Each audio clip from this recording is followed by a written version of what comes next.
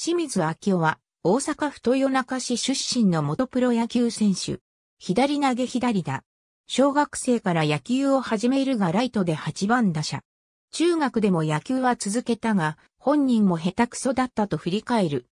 大阪高校進学を機に野球を止めるつもりだったが、友人に誘われ見物した軟式野球部に入部し、ここで初めて投手を務めた。2年連続で大阪大会で優勝し、注目を集めた。しかし、公式野球への憧れは捨てがたく、名門の近畿大学セレクションを受け合格。1年目は2部に入学し2年目に1部に編入された。二岡智弘、宇高真二、藤井明人、山下正光らとチームメイトになり、4年時にはチームを全日本大学野球選手権大会優勝、明治神宮野球大会優勝など、アマチュア5冠に導く。関西学生リーグ通算16試合当番、11勝1敗、防御率1.14。最優秀選手1回、最優秀投手2回、ベストナイン1回受賞。1997年秋のプロ野球ドラフト会議に際しては6球団の争奪戦となったが、最終的には日本ハムファイターズを逆指名し、1位で入団することとなった。入団後の2年間は、左肩や肘の故障に泣いたが3年目の2000年に、先発投手として6勝を挙げる。しかしその後思うように勝ち星を増やせず、2003年に中継ぎに転向し50試合に登板した。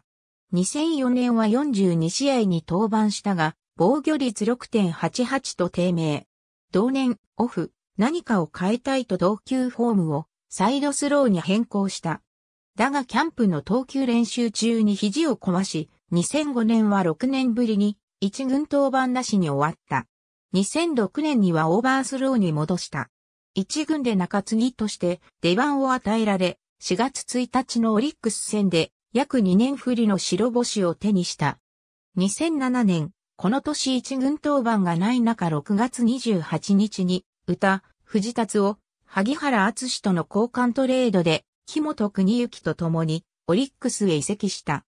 しかし移籍先のオリックスでもこの年一、軍当番なしに終わったものの、この年2軍で2軍投手コーチの清川英二の指導を受けて、再びサイドスローに再転向した。秋のフェニックスリーグで高騰をテリー・コリンズ監督に見せ、好印象を与えたが、2008年の一軍キャンプには呼ばれなかった。しかし腐らずに練習に打ち込み、2軍戦で13試合自責点2の好成績を挙げ、住友平治軍監督の推薦を受けて5月17日、ロッテ戦で一軍昇格した。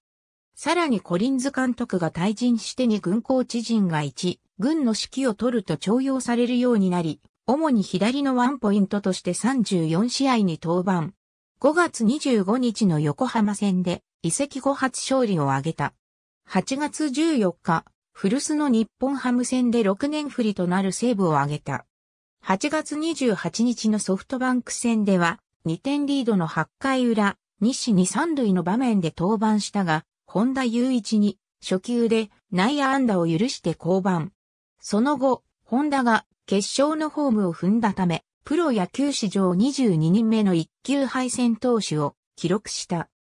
大阪ドームでの2008年のパシフィックリーグクライマックスシリーズファーストステージ初戦で中継ぎ登板し、自身の現役生活唯一のポストシーズン出場。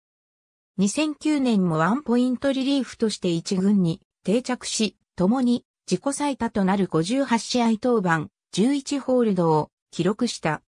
8月25日の日本ハム戦では、2点リードされた10回表に登板し、稲葉厚式を初球でレフトフライに仕留めると、その裏に味方打線が奮起して逆転サヨナラ勝利を収め、史上28人目の一級勝利投手を記録した。これに伴い、一級勝利投手と一級敗戦投手を両方記録、落合英二、林正樹に続いての史上3人目の投手となった。2010年は肘の故障に苦しみ一軍出場なし。2010年10月2日付で球団から戦力外通告を受け、現役引退。引退後は広島県福山市で夫人の実家の自転車店、サイクルハウスケンズで岐阜母と共にスタッフとして働いていた。球団スタッフとして業界に残る道もあったが、未練や悔しさを断ち切るために全く異業種への転校となった。2013年には三原市で開催されたトライアスロンにも参加している。2019年1月18日、ベースボールチャレンジリーグの新潟アルビレックスベースボールクラブ監督に就任することが発表された。2シーズン式を取り、2020年10月9日に同シーズンの契約満了をもって退任することが発表された。ABCDEFGH 走る楽しさ、初心者にも中国新聞便5番2014年5月10日、ABCDEFGH 野球が好きやし清水明夫、週刊ベースボール2009年8月10日、GO、ベースボールマガジン社、2009年、雑誌2万442から8、10、43から47ページ。自転車店で第2の人生へ、元オリックス投手清水さん山陽新聞、2011年12月1日。新監督決定のお知らせ。新潟アルビレックスベースボールクラブ2019年シーズンチーム首脳陣体制決定のお知らせ。新潟アルビレックスベースボールクラブ清水明夫監督退任のお知らせ。ベースボールチャレンジリーグ。ありがとうございます。